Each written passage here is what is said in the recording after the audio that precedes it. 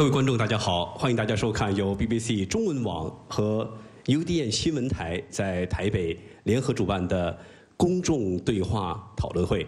我们今天的题目是“台湾民主发展何去何从”。我是今天的主持人之一，BBC 中文总监李文。是。我是另外一位主持人，我是在台湾的 UDN 新闻台主持人彭云芳。今天是我和李文总监的第一次搭档主持，非常高兴。希望我们今天谈的题目环绕着民主，我们大家都能够擦出一些民主的火花。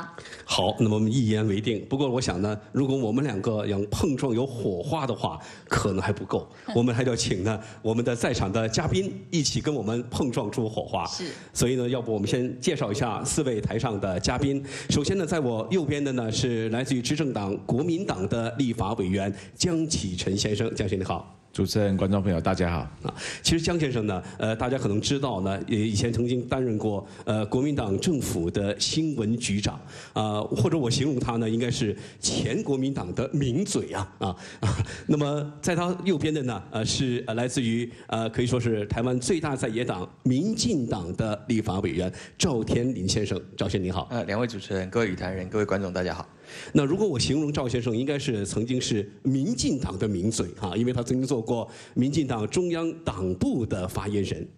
是，另外还要列介绍两位同样是大有来头的来宾。呃，首先来介绍的是台大哲学系教授林火旺林教授，您好。主持人还有各位观众，大家好。林教授曾经担任总统马英九在竞选台北市长的时候的竞选总干事。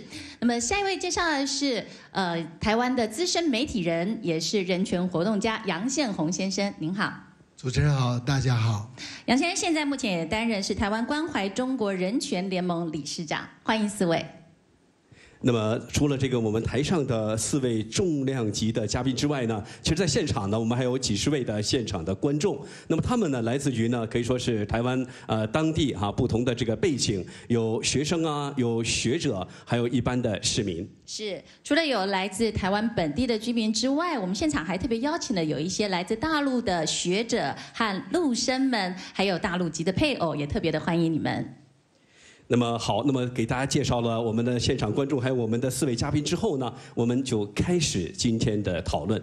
那首先呢，我想呢，呃，跟大家一起来看一个，呃，可以说是反映了台湾民主程度的一个，可以说是呃民主指数排名表啊。那么我们知道呢，英国的《经济学人》杂志每年呢都编排一个全球民主指数的排名榜。那么在二零一三年的排名里边呢，那台湾。名列第三十五啊，呃，看上去呢，似乎可以说是比啊中国大陆啊，呃，甚至香港或者说是啊新加坡都可以说排位比较靠前，呃，可以说是在全球的华人社会中呢，应该说比较可以说在民主方面比较领先。但是啊，但是与此同时，我们看到这个排名表呢，台湾的民主程度呢，被归类为部分民主。所以就这个话题呢，我想呢，可能首先先问一问哈，这个江启臣立法委员，您对英国《经济学人》杂志对台湾民主这个评价，您同意吗？我想基本上这是一个相对的指数了哈，也这个排名只是反映出来说，在民主化的发展过程当中，台湾大概是处于什么样子的一个位置啊？这绝对不是一个绝对的数值啊。那如果从呃年代来讲，其实台湾民主的发展。也只不过是这二三十年的事情啊，那相对其他西方国家，其实我们还远落后了。我想这是不争的事实啊，只是说在民主的话，民主的过程当中，我觉得除了跟其他国家比之外，很重要是跟自己比。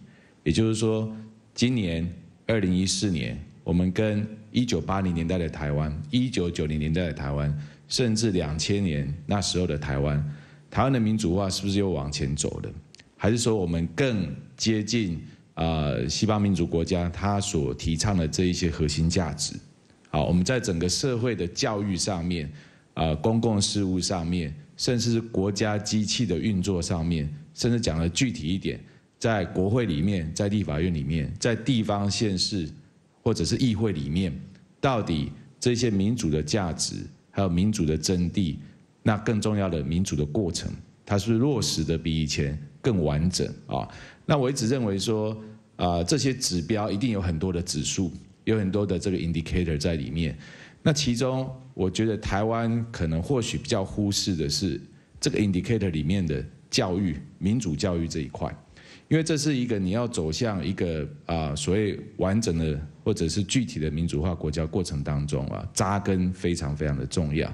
其实我还是很怀疑啊，呃，在台湾的这个民主化的教育当中啊，我们有时候。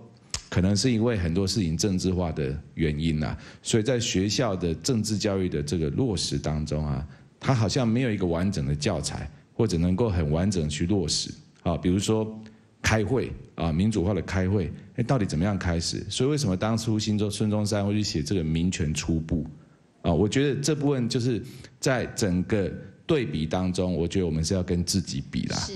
那这一个这一个指标给做我们一个参考。经济学人的这一份评价对台湾认为这个部分民主，刚刚焦委员特别提到说，认为应该要跟自己比。不晓得另外三位嘉宾的想法怎么样？是不是？请焦委员您也谈一下。呃，江委员的看法其实我大部分是同意了哈，就是说台湾的民主其实是一直在进展当中。那在华人的世界里面，我们能够名列前茅，我觉得这是一个全世界的华人都要珍惜的一个资产。那在形式上，其实我们拥有的是完全的民主啊，比如说我们从村里长。一直到这个总统选举，我们都是可以直选的。光是今年度即将要进行的地方选举就有九种选举，那在形式上它是一个公开、公平、公正的选举。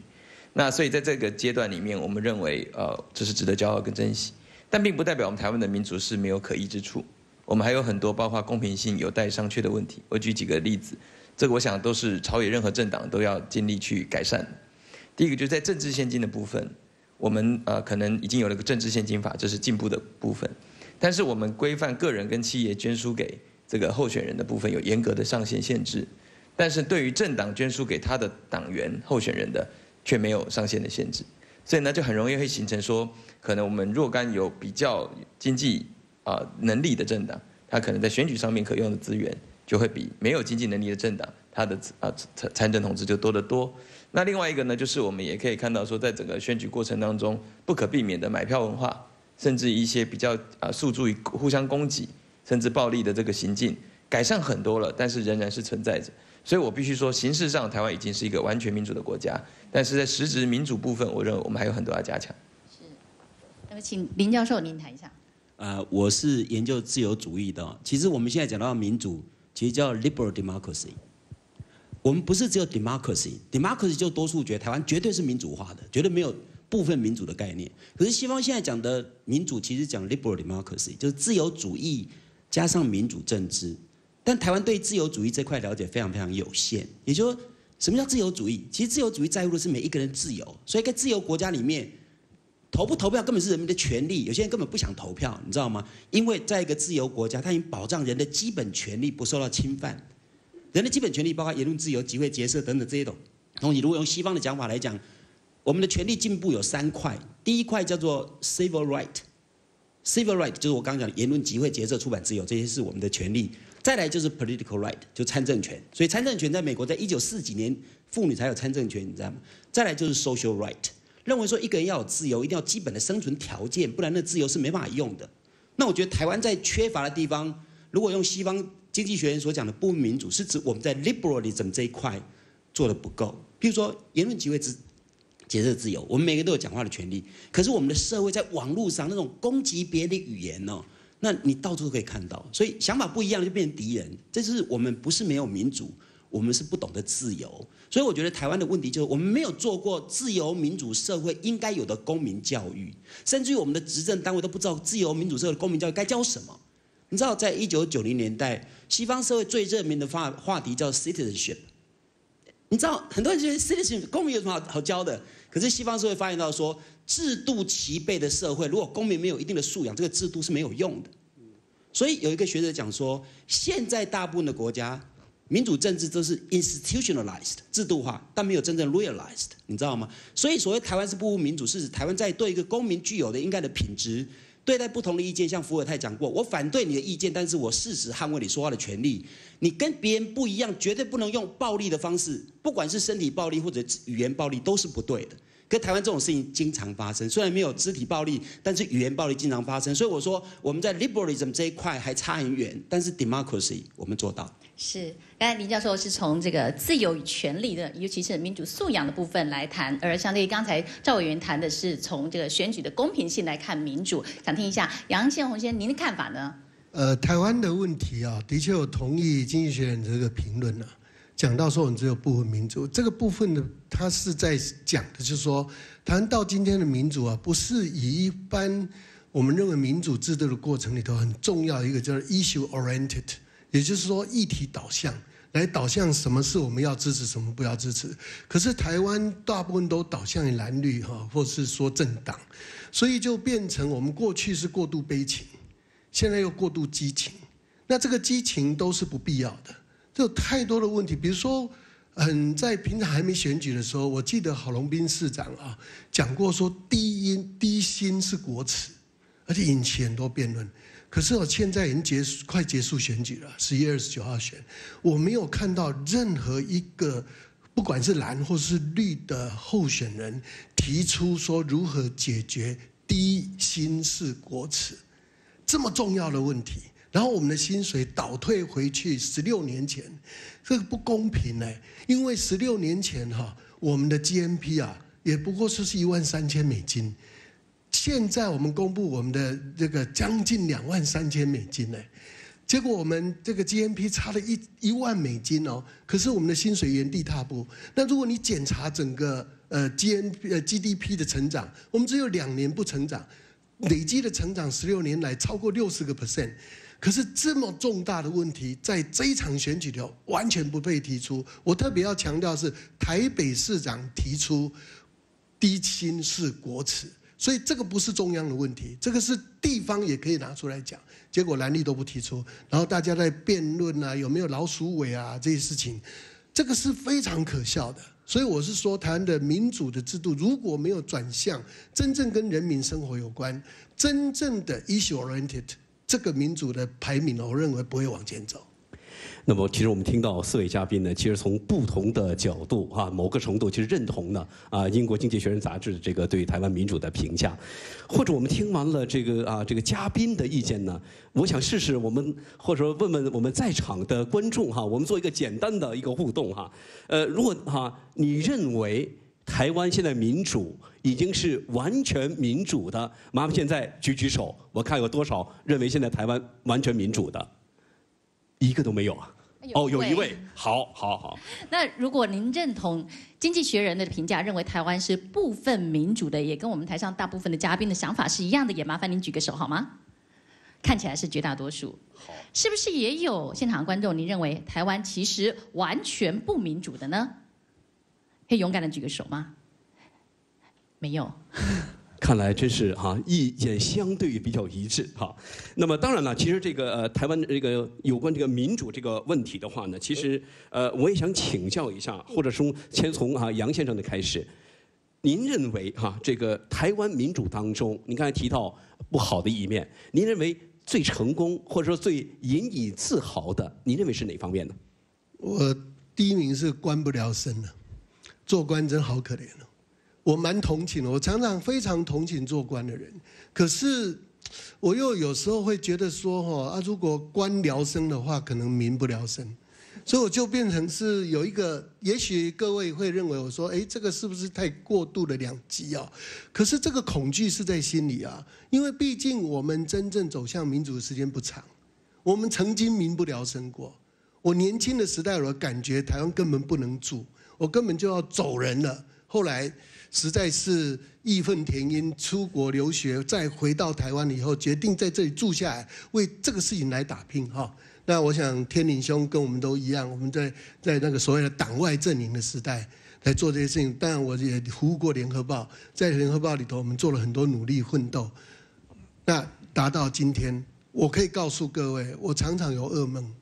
我们哪一天醒过来，我们又像当年一样。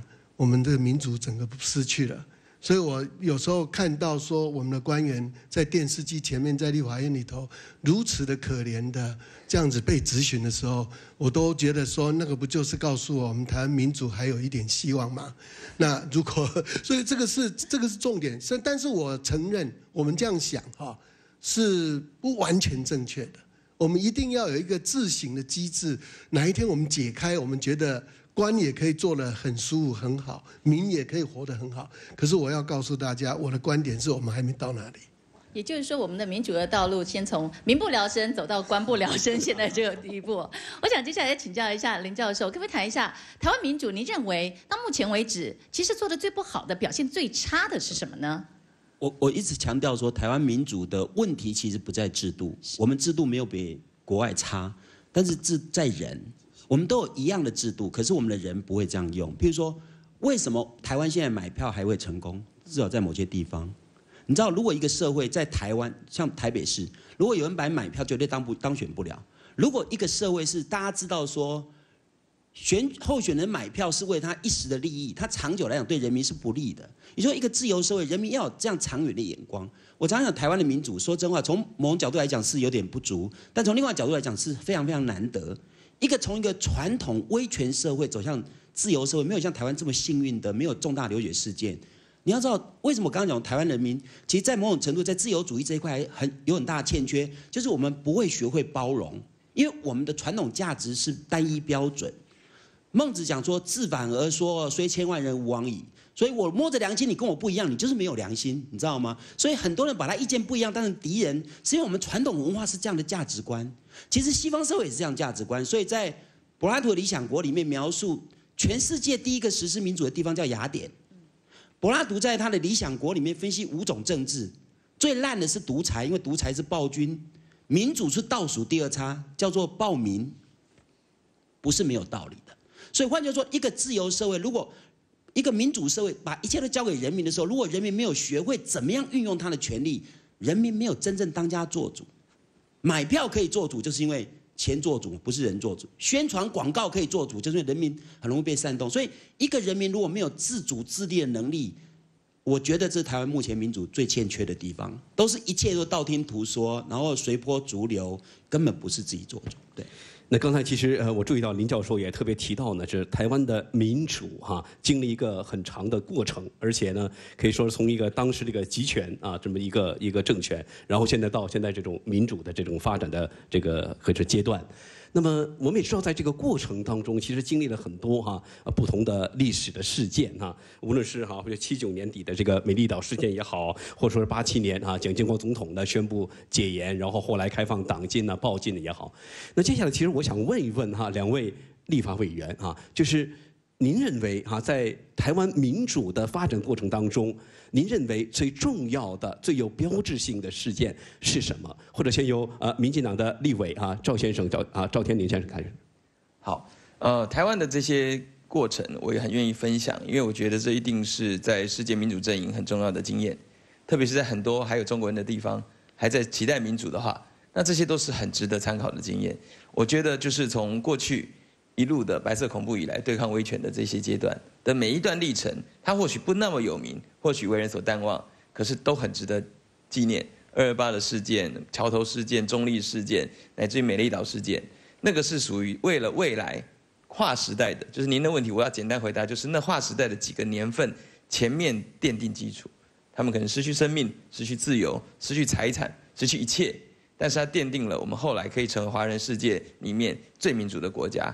那最关键的，我觉得是几个数字：一九八七年的解除戒严，那实在是一件很了不得的事情，没有经过严重的战争流血。好，那一九九二年的国会全面改选，这个是香港是不是现在正在争取当中的呢？那在这个一九九六年的总统直选，而且是公民直选，而不是透过国大代表的委任直选，那更是一个划时代的意义。那当然，两千年的第一次政党轮替，两千零八年的第二次政党轮替。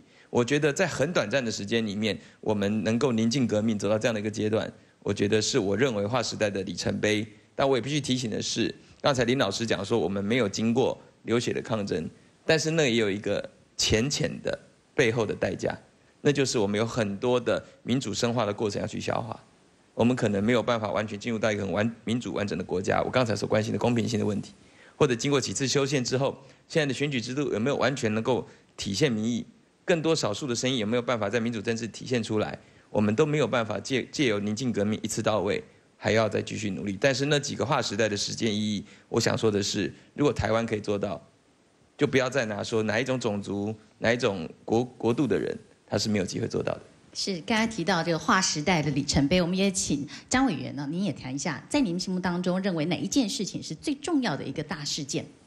我想刚刚天林兄已经提到很多台湾民主化过程当中的重要时点跟事件啊，甚至是一些重大的决策。当然解严啊，一九八七年这绝对是关键啊。那解严之后一连串的，我想选举的过程、直选的过程啊、政党轮替的过程都非常非常的重要啊。所以民主化过程也不是靠一个事件呐啊，它绝对有它的背景，然后关键的人物、关键的时间点，甚至世界的大环境。它都在影响台湾怎么样走向民主化的下一步啊！所以我觉得过去这一些时点，我们都不能忘记它，它给我们的一些教训，给我们的一些经验，我们也必须汲取。可是我们也必须回归到现阶段的现实生活，也就是说，台湾讲民主化，我们讲台湾是民主国家，但这个民主化跟民主国家到底是不是带给啊？大部分所有的人民他所想要的，比如说刚刚提到台湾薪水倒退的问题，台湾经济发展面临的瓶颈，甚至我们国会运作陷入僵局的问题，台湾宪政僵局的问题，我想这个都是民主化过程当中我们必须不断去检讨跟克服的哈。或许这些克服的，然后又会。啊，缔造另外一个很重要的事件跟时间点。那这样子的话，台湾的民主化才有办法继续往前走。否则，我们其实，在站在现在的时间点，我们是非常担心的。我个人是非常担心，说台湾的民主化到底走到现在，就好像今天的标题一样，发展何去何从？过去我们是说，哎，台湾的民主化何时到临？现在我们去。烦恼的是，那发展要往哪里走？能不能走下去？能不能有大的突破点？我觉得是现在啊我现阶段来讲，啊，或许我个人更担心的是这一点。那么，其实我没看到呢，有些网友呢在说到啊这个台湾的民主发展的时候呢，也往往会提到呢，当年这个开放党禁，也就是说呢，在台湾呢，呃，有个出现这个不同的政党来参与政治啊。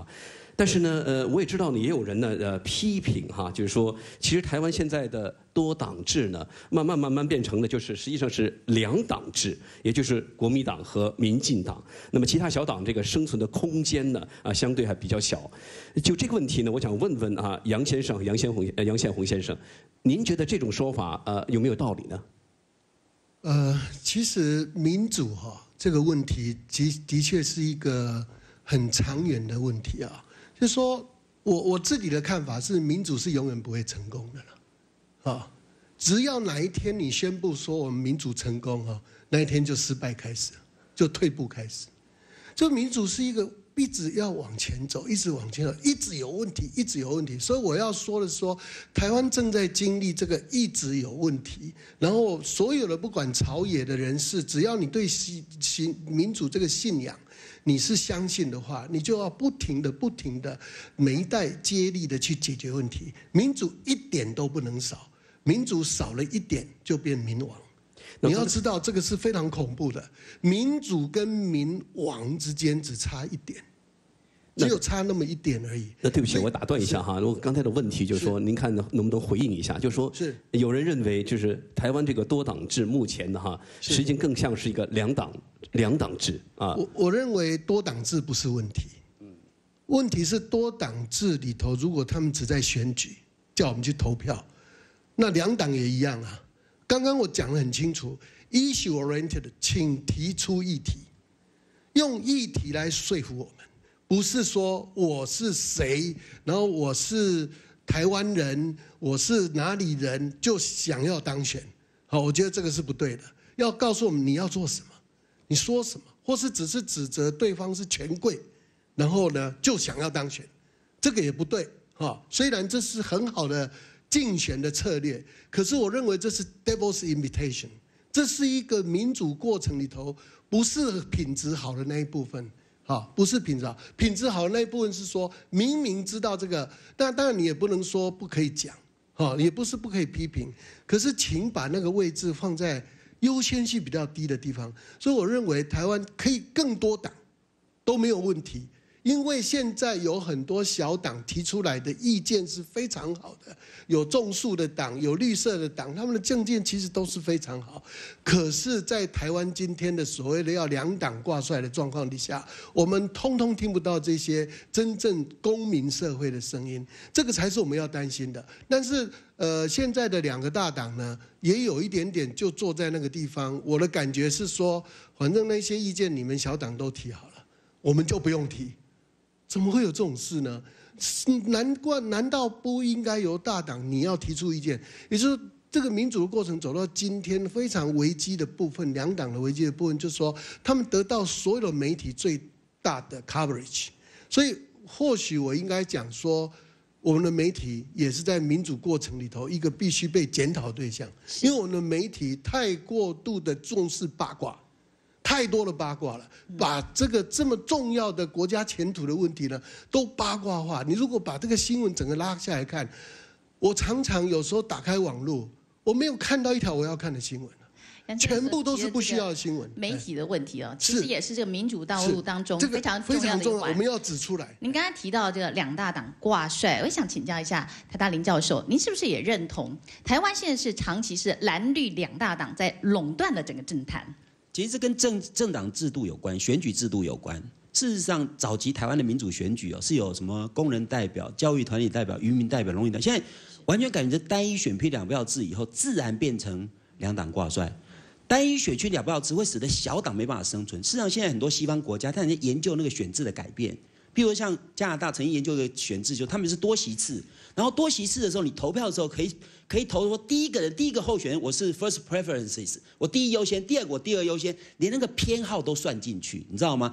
当然，这个改革是一个很长远的路哦。但我常常讲说，民主政治哦，会有怎么样的民主政治，是因为有怎么样的人民。如果人民很烂呢，不可能选出很好的政治人物。所以我常常跟学生学生讲说，你们一定要骂政治很烂，你说那些都你们选出来的。譬如说，我们立法委员花很多时间在跑脱。立法委员不必审法案或审的法案，他有没有认真？你不知道哎。他在这法案代表什么立场，你也无所谓，因为你在乎他有没有来跑脱。如果人民发现跑脱的立法委员没有审法案，我们现在立法委员有点像市议员，每天只关心地方的事务。其实立法委员关心的应该是整个国家发展、整个制度法案。可是我们人民是，哎，这地方我常常看到，所以我就投那一票。各位，我们人民如果立法委员只是跑脱就会成功，你不用担心我们的法案会很好的。因为他不认真审查，你知道吗？所以我们人民如果开始改变，说哦，立法委员一天到晚跑他，不是说跑他不要，但是如果只有跑他立法院，我不投他，立法委员就会改变。所以民主政治永远最后的权力来源是人民。当人民那么好骗的时候，政客很好混。所以我一直强调公民教育有多么重要的原因就在这边。我们不可能期待政客有一天良心发现，我们要期待人民。我要求的是不一样，政治人物就要不一样。那其实您刚才提到这个选举这个问题哈，其实我们在这次的这个活动之前呢，我们也在这个网络上哈征求呃网友的意见和提问哈。呃，我这里呢其实有一个呢，有一位网友呢在 BBC 中文网上留言，也其实也谈到这个问题。他说就是说他不认同呢把选举。和民主挂钩啊，他的说法就是说，其实选举民主了啊，并未代表呢民主在发展啊。特别提到，好比说，他说台湾以前有领导人是以民主上位，那最后呢以贪腐下台，所以他的看法就是说，呃，他认为其实现在哈，这个台湾呢，这可以说是选举民主了。但是呢，呃，这个整体社会还没有民主。其实就这个问题，我想呢，问问两位立法委员吧，啊，那么特别是呃，江先生，您当时是放弃了新闻局长的公职，然后去参选做立法委员，我不知道您怎么看呃这位网友的一些评论。首先啊，呃，我当民意代表之后啊，嗯，有很深刻的感受，所以刚刚火旺老师那一番话，我百分之百赞同啊。那。这是台湾目前民主发展的一个过程当中，我不能说它不对，但是或许这是我们该走的过程。我们也期待说，啊，走到最后能够实现国旺老师所讲的那样子的一个理想啊。那啊，至于。台湾民主的这个发展，我是认为说，我们现在有一个形啊，就是说这个我们讲形容形容，我们有这个形，可是在这个容内容的这一部分啊，一直是现在台湾民主发展上面，我们亟待去突破跟往前走的啊。选举啊，啊，真的有时候我们觉得说，我我以前在大学教政治学啊。我去选了九个月的选举之后，我的选举过程我还在大学继续上我的课。我每一次回去都跟学生讲说，我觉得我的政治学应该重写，啊，因为因为政治学里面没有告诉我要怎么样选举才会赢，或者里面告诉我说选举会赢的，在地方上绝对用不着啊。如果用那一套的话，你绝对不会赢啊。所以。所以我觉得这个是，或许是政治学它很有趣、很奥妙的一个地方。或许是每一个国家它面对民主政治的时候，它自然有不一样的反应，人民也是一样。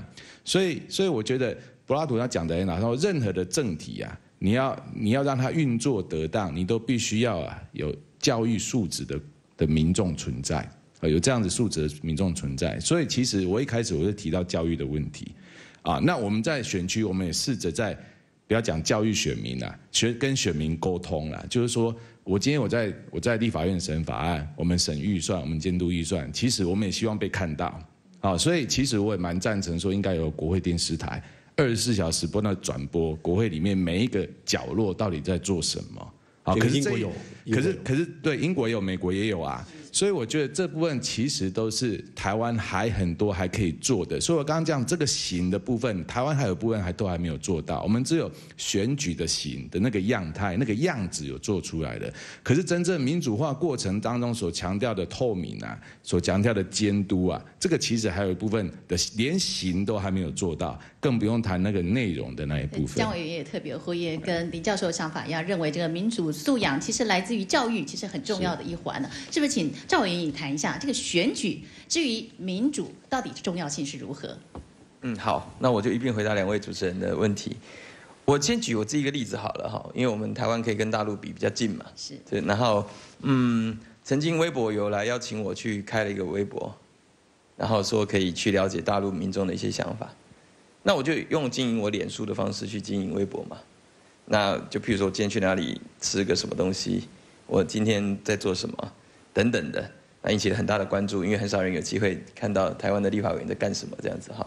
那当然，有人就挑战我说，我敢不敢公布我的财产？我说，那我们法律就是规定要公布财产呢，有什么了不起？就贴了两天，我就被关站了，我的微博就再也消失在那个中国大陆。然后我就开始跟很多网友一样，我就二次、三次、四次、五次到十五次，我就懒得跟他玩了，这样他的目的就达到了。赵天林就从此消失在。大陆的网友的科技，我们有个说法，在大陆叫做转世。对我转到十五次我都玩不下去了。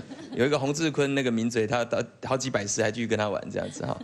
那我想要表达为什么要讲这个呢？就是说我们有领导人曾经因为民主上台，而下台之后目前仍关在狱中。我们也有的领导人他上台，我们嫌他无能，可是我们却拿他无可奈何。但是，但是他仍然是一个民主的机制在运行中。我们不觉得他好，刚才我们谢宏老师有讲了，但我们可以一直在改进。可是如果我们没有了这个机制之后，我们就只能存乎于一党、一人、一派，他的良心。他的良心如果阳光出现了，你可能好过一些；他良心被蒙蔽了，那整个国家社会就完蛋了。我们不要再走回头路了。那当然，回头讲选举，我认为选民真的是可以教育跟对话的。所以林老师讲的都是我们的切身之痛。你不要说像选议员了。立法委员简直做的跟里长是一样的工作了，因为我们的选区好小好小，比议员都还要小这样子。那所以呢，你一旦不像里长一样的这种工作，你随时就会被其他的议员所取代。所以怎么办呢？怎么办呢？所以我的做法是这样子，我们就是两者兼具，就是我也做里长议员的工作，同时加倍努力做问政的工作，然后告诉选民说哪一种会比较好，让他做选择。然后同时在选举的方式跟问政的方式去做调整跟改变，然后让他们适应，但这都没有办法改变大局。我仍然认为修改宪法的时候该到了，该把我们的权力失衡的问题，到底是总统制内阁制呢？我们现在小党没有办法发生的选举制度要不要改变呢？那就是另外一个大灾问，这个是一定要去面对的。那么接下来我们想换一个话题哈，因为我知道很多的这个西方和或者说其他的民主国家哈，在发展民主过程当中呢，往往就有一个所谓的领军人物或者代表人物哈，也就是大家啊通常所称的所谓民主之父。所以接下来我想问问哈，这个在座的这个嘉宾哈，呃，究竟你们认为台湾有没有所谓的民主之父哈？如果是的话，又是谁呢？或者我们先啊从这个呃这个杨先生那儿开开始啊问这个问题。在我想象中啊，我觉得黄信介先生对我来说是一个非常重要的哈。那他的重要性是在看起来不太可能时代。老实说，我我刚刚讲说民不聊生啊，就是觉得说活在这个地方有意义吗？可是我觉得在那个党外时代，不是民进党哈，是党外的时代，像黄金介先生那样的一个人，他不断的在呃这个街头上带领着当时候的党外人士，告诉大家说，我们要做这个，我们要制衡，我们要做这些事情。那你有时候你也没什么选择，但是你就觉得说，至少他觉得他说了一个可能性，就像一个呃。一个气球，你觉得可以打它一个洞，把它就消气这样一样，呃，这样子经过啊。可是后来我觉得对我来说比较重要是李登辉先生，因为其实李登辉前总统哈，在他的任内把两岸之间的关系处理到，尤其九二年这个变法，啊，可以处理到这样的情况，啊，甚至于两岸之间的关系可以一直维持这样的稳定的情况，我认为都是在李登辉先生时代。他铺下了非常好的基础。那我也跟中国大陆的学者大家坐下来谈过，他们认为以江泽民的程度是做不了这样的事情，所以大部分是江泽民跟着李登辉做。我觉得那个是一个历史上一直没有把它解释清楚哈的的部分。那我觉得如果没有李登辉的这一块，你的特别是九二年到九六年这一块，那我认为台湾的民主啊，现在有可能很快倒退。倒退的可能性是有，可是李登辉先生在那一块里头使得他稳定。那黄信介是戳破那个神话的那个最重要的一个关键。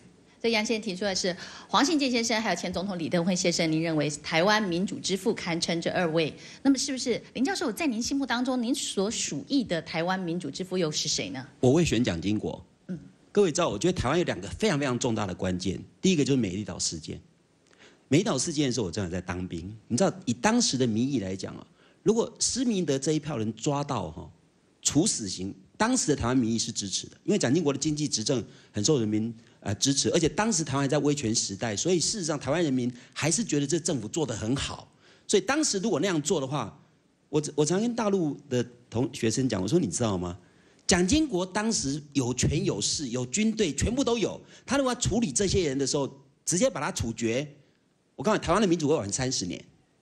我说，你看，举个例子，六四天安门，大陆的六四天安门，邓小平采取镇压的手段，我告我告诉大家，现在大陆的民主还遥遥无期。所以我觉得有权有势者愿意容忍，其实是个很重要的关键。很多人常常讲说，哦，民主就容忍。你要知道，当你无权无势叫人家容忍，是开玩笑啦。一定是有权有势者愿意放。我觉得台湾那那个是关键。第二个关键，解严。如果不是蒋经国在临临终以前宣布解严，以后的国民党继承者没有人敢讲解严。所以我觉得蒋经国虽然是个威权统治的社会，但他那个转泪点，我认为台湾的民主是整个开放，是那个是关键。那么其实啊，两位嘉宾呢，您提了三个人名哈，我也想现在我们要不跟现场的观众也啊互动一下哈。如果认为台湾哦确实有民主之父的，是不是您举一下手好吗？为什么没有看到有举手？我们这样问好了。如果您也认同认为前总统李登辉先生是台湾民主之父的，是不是能够举一下您手？也没有。我们再问一下，如果是认为是前总统蒋经国先生是台湾民主之父的，您是愿意表个态吗？哎，这时候我们就看到了几位举手了，或者是谢谢，或者是前民进党主席施明德先生呢？呃，这样子请教您，如果您心目当中有一位民主之父，但不是我们刚刚所提到的人民，有没有其他的人选？是不是愿意谈一下？比如说刚才杨先生提到黄信介先生，是，哦，也有，好，但似乎好像是举这个蒋经国总统比较多一些，哈。是，也许有其他的想法，或者说从今天开始来开始想这个问题，是对。那么在这里也呃，大家呃提醒一下呢，我们现在呢是啊，由 BBC 中文网还有呢，在这个 UDN 新闻台在台北，我们联合主持的一个公众对话讨论会。我们今天讨论题目是呢，台湾民主发展何去何从？我是呃主持人之一，BBC 中文总监李文。是，我是 UDN 新闻台主播兼主持人彭云芳。今天在我们一起在现场的还有台上的四位来宾，以及台下数十位的观众，我们一起来讨论这台湾民主何去何从的问题。那么接下来，其实我想呢，呃，一会儿哈，也可以让我们台下的现场观众呢，有机会呢，啊，问问我们台上的嘉宾。不过呢，在这之前啊，你们先想好问题哈。我们现在呢，先呢，可以说先读一读呢，我们在啊这个网络上啊收集呢这些网友的一些啊这这个意见呢或者提问，然后由嘉宾先回答一下哈。呃，有一位呢，这个来自于台北哈，署名啊 James 的网友呢，他表示说，民主不仅只是选举一项啊，必须。呢，全面观察评估。那么他说呢，其实台湾民主化过程当中所带来的不公义的现象急需解决。例如呢，财富集中少数的财团，财富的分配呢不均，然后呢，呃，弱势族群呢无法受到照顾，而年轻人又对未来的彷徨哈。那就这个问题，我想先请教一下呢，呃，执政党国民党的立法委员江先生。我想，的确啊，民主不是只有选举哈。如果民主只有选举的话，那真的就是空有其表而已哈。那但是怎么样让这个选举过后所诞生的这一些啊被选出来服务的人啊，他能够有效的带领去解决社会上所面临或国家社会面临的问题？我觉得这可能还不是只有涉及到选举制度而已。可能整个国家的宪政制度啊，刚刚天林先所所提到的这个部分啊，台湾现在其实呃我们的宪政制度啊是处于一个某种程度上有一点四不像的的情况啊。我们跟西方的不管是总统制、内阁制啊，啊我们独树一格，呃我们叫五权宪法制啊。那这个制度其实也造成现在行政立法之间呐，啊我们觉得很多。没有办法运作的非常顺畅的地方，不管是哪一个党执政，其实都面临一个问题。还有不管是谁当总统，我们都发觉说，哎，前四年因为刚当选，所以都还还在那边啊熟悉。可是后四年在当的时候，发觉不对啊，怎么不管他个人的的这个品格怎么样，似乎都陷入一个这个政府啊行政这个机器没办法转下去的一个窘窘境啊。包括即使执政党在国会里面。有多数的席次，可是我们国会陷入一个某种程度上啊，常常对立的一个情况啊，所以这样子的一个宪政制度啊，我们如果不去面对它跟处理它的时候，我觉得我们光有选举，大概没有也也没有什么能够去改善目前人民所面对的这些问题啦啊，所以我觉得。啊，最基本的这个国家的基本架构啊，我们现在的确处于一个处于一个需要修改的时候，因为这一套西装啊，已经穿了几十年了，难免有一些不太适合的地方。你可能变瘦了，你可能变胖了，啊，那你必须要做一些修改啊，然后让它更适合我们现在身体的一个状况。所以我主张就是在现在的时间点，尤其明年马上我们要遇到总统大选了，这是总统大选的高度。这些候选人必须要对台湾目前的宪政状态去做表态，就是我们要怎么样来处理这些问题，否则刚才我们所提到的这一些我们代议政治的问题、代议式的问题，为什么今年以来屡次发生直接民主在挑战代议民主？就是我们的代议制度的确产生一些运作上面的麻烦，啊，面对僵局没有办法处理。或者我们宪政体制设计上面没有僵局危机处理的机制，所以导致总统也不知道能够做什么，民意代表、国会好像也束手无策，所以人民直接走上街头，用直接民主来挑战大义民主。所以我觉得这是到我们必须好好去面对的时候。听到我们现场嘉宾今天都提到了关于我们的呃制度或者是宪政宪改的部分，都有一些需要改革的地方。我这边也有一些 UDN TV 脸书粉丝团的网友们所提出来的一些意见。有一位来自台湾的台北的一位，他没有特别署名的一位朋友，他说：民主是否需要靠人民自发性的由下而上来实现，而不是靠在位者的施舍呢？是吧？林教授，您愿意谈一下吗？好，我必须对刚刚那个民主政治的什么民主支付，我再做一个补充，跟这问题也相关。你如果问我说谁是民主之父，我觉得没有。我刚刚讲的是蒋经国是关键人物，但如果没有当时党外人士的冲撞体制，我觉得不会有今天台湾民主政治。所以我常常讲说，像施明德、黄信介这些都是我非常敬佩的人，因为没有他们，蒋经国不可能放下，你知道吗？但我觉得蒋经国是关键，因为他当时有权利，所以这件事情就代表说，民主市场是靠人民争取来的，没有一个民主国家是自动人家赐给你的。所以蒋经国如果不是当时社会有人要抗争，他大概也不会赐给你这些东西。所以我觉得这是一个互动。所以我觉得一个社会、一个国家要争取到民主自由，一定要是人民要付出代价。自由从来都不是从天上掉下来，从来都不是。你看人类有史以来，像十九世纪的思想家江江都没有，他有讲过说，镇压往往是成功的。你不要以为有权力的镇压不会成功，你知道吗？我们常常讲哦，真理会战胜黑暗，常常不是。有史以来，人类被镇压的次数不知道多少次了，最后能成功几率非常非常小。所以我觉得我们人民要这样体会。我为什么常跟学员讲说，不要期待政客会良心发现，不要，我们要期待我们自己有怎么样素养，才能够建构一个比较成熟的国家。像刚刚讲的，有权利者一定为自己的权利，有利益者一定争取自己的利益。人的私心其实在一个自由国家，因为自由国家越来越个人主义化，个人主义最容易走上偏差的个人主义。所谓偏差的个人主义，就是自私自利。但是个人主义原来意思不是这样，我今天也没有时间那边细讲这个东西。但是我觉得，如果我们要建构一个比较健康的个人主义，我们每一个人民都知道这个国家是我们的，我们要争取到比较好的所谓公平正义，一定要给政治人物压迫才有可能成功，不然期待他忽然良心发现是不容易的。不容易。呃，谢谢谢林教授这个哈，可以说说一番一番的解释哈。呃，我现在想不知道在场的现场观众是不是已经准备好，有没有呃举手可以呃提提问题，向我们的嘉宾。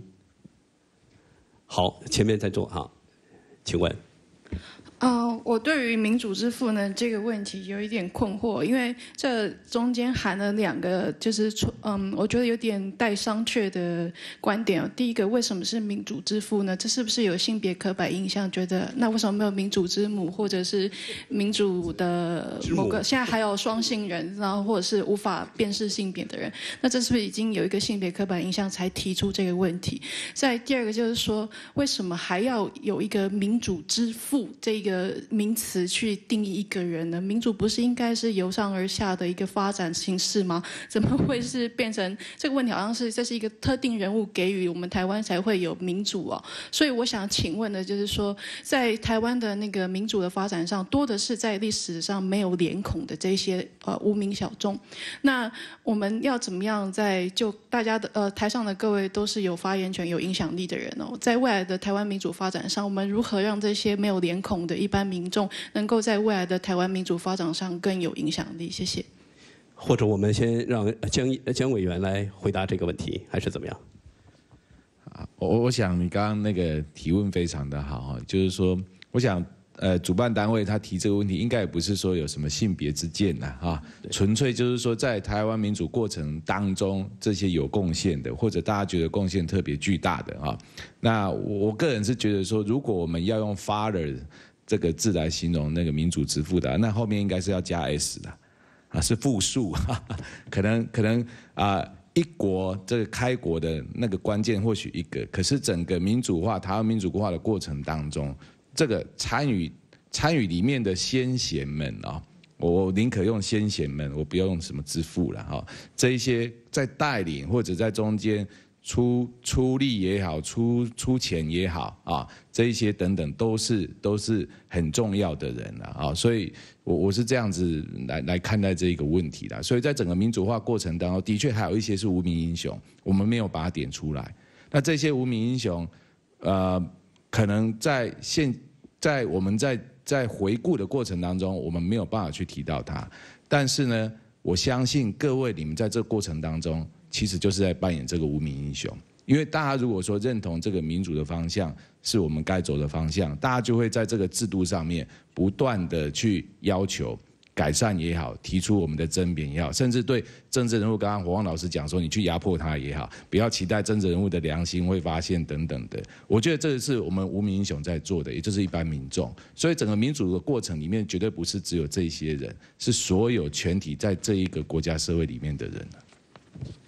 好，谢谢哈。那么接下来我想呢，要换一个啊话题哈，我想问一问哈，就是说这个呃台湾的民主啊，究竟跟西方的民主国家这个民主有什么相同或是啊不同之处？呃，我也注意到呢，四位嘉宾都曾经在美国留过学哈，或者我们直接就比较一下，呃，这个台湾的民主跟美国的民主之间有什么相同和不同？呃，或者简单的，我们先让呃赵先生来来回答这个问题。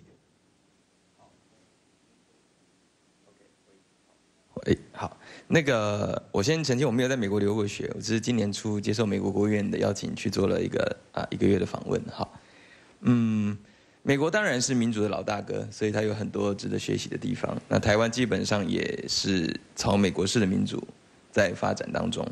那我必须说，我们相同的地方应该是说，我们都是在那样的框架下去发展。然后在那框架下发展里面呢，我要一定要回应。以下这个姜委员讲的，我们真的是卡在一半，一定要选择总统制或内阁制，要做出一个明确的选择，我们才能够有一个明确的权责相符的政治政府体制。那我这就不多说了，我的跟他看法跟他是一样的，这应该要去这么做。但是我觉得我们有一个本质上很不同。我觉得台湾毕竟还是一个华人或中国人的遗续下来的社会，所以我们跟美国以美国为例，美国是一个很不信任政府的一个国度。他们是当时一个移民的社会，然后很多的殖民地，然后勉为其难的组成的一个国家，所以他们的宪法基本上就是在保障各州、保障个人，而不是在保障中央政府。可是我觉得刚才也回应刚才那位参与的朋友所讲的，整个中国人的社会的问题或华人社会的问题，就是那个皇帝的那种以上为下的那个家天下这个天子的那种封建的遗绪，还没有完全从中国人的社会、华人的社会移开。所以在我们的社会里面，就会变成说，好像你总要找到一个明星这样子，啊，譬如说像我们最近太阳花学运，你就会看那几位领袖，可是你可能忘记了那三十万个穿着白色的衣服在街上的人，这样，那这个就是一个遗绪。但是我觉得这就是我们的特质，也不用去去怎么样去谴责这件事。但是我觉得我们正在学到民主的真谛。应该就是要像刚才您提的，就是说从那个明星化的追随，回到了就是说我们已经拥有所有的权利了。那我们的每一个人在面对我们拥有权利的时候，我们该怎么去主张？我们该怎么去争取的这件事情上面去做努力？那这样子的话，如果西方民主是我们所施法效法的对象的话，那才能够真正达到那个精神。否则你改再多的制度，到最后你仍然会仰望的是那个英明的领袖，你仰望的是那个超凡入圣的一些带领的人。可是你往往会失望。可是你就不要忘记，其实在这个制度下，我们的每一个人都可以成为了不起的人物。好，谢谢您。那么，其实台湾的民主呢，不光是台湾本土的人士关注，我们也知道呢，在海峡对岸哈，这个中国大陆其实也有很多人在关注这个台湾民主这个发展。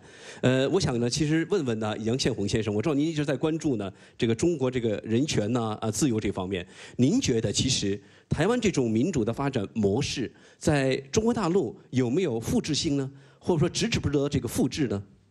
我想有参考性，可是我不认为可以复制。中国的情况有中国情况，它的特殊性，这种旋律不太一样啊。可是台湾有一些基本元素，应该是在透过交往之间呢，我们要表达哈。我简单把它归纳，大概是这样的一个意思啊。就两岸之间哦，不能只谈价格，要谈价值。啊，两岸之间也不可以只谈利益，要谈正义。共产党、中共要谈利益跟谈价格，他最会了。台湾怎么谈谈不过他，可是谈价值、谈正义，台湾都是站在最关键的位置上。我觉得这个这个是非常重要。那刚刚主持人问的说，我们一其实归纳来讲说，我们可不可以影响他们？我答案当然是正面的，一定可以影响。我们就是应该去关心整个，比如说这里头有一个非常大的一个问题嘛。如果中国到今天为止，因为我在二零一二年十二月十一号在台湾立法院哈，包括两位委员都参与了哈，都支持了，就是我们通过一个台湾关心中国良心化名单四千零三三人。我们所有的立法委员 unanimously pass，没有异议的通过。这个通过了以后，我们非常清楚告诉对岸说：如果中共你这个政权没有办法善待你自己的人民，我就不会相信你会善待台湾。好，那我觉得这个的态度要拉清楚，那这个也就影响了中国它的内部，因为我们必须告诉两岸之间也好，或是中国作为一个要民主化的这个过程也好，人权、自由、法治、民主这些体系，它要用它属于中国特色的方法去发展，我们没有意见，可是那个关键是跑不掉的。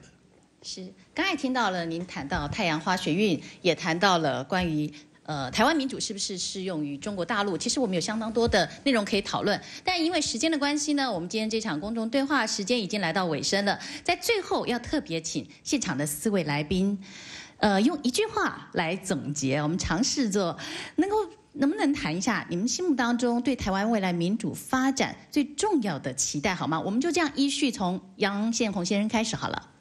呃，我心里头其实是赞成赵元刚讲的，我们要，我其实心里想的不是修宪、治宪，其实治宪才是台湾真的要走的路。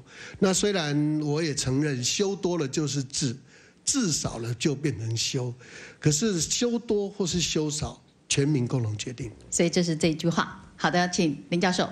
我常常想引用那个美国哲学家 John Rawls 讲的话，说政客在乎的是还下一次选举，政治家关心的是下一个世代。我期待我们台湾的政治人物为下一代想一下，我也期待台湾人民要期待政治人物良心发现是不容易的，所以民主国家要成熟进步，我们人民要负点责任。对，谢谢，请赵委员。呃，民主的问题就用民主来解决，千万不要走回头路，要珍惜台湾的民主。上一代头打破头流血争取现在民主，我们这一代真正的骨气。就是要赶快把我们的宪政制度修到一个确确实实适合台湾发展民主的一个好地方。是，张委员。啊，经济发展或许有奇迹啊，但是政治发展、民主政治的发展绝对没有奇迹，它绝对是一步一步走下去啊。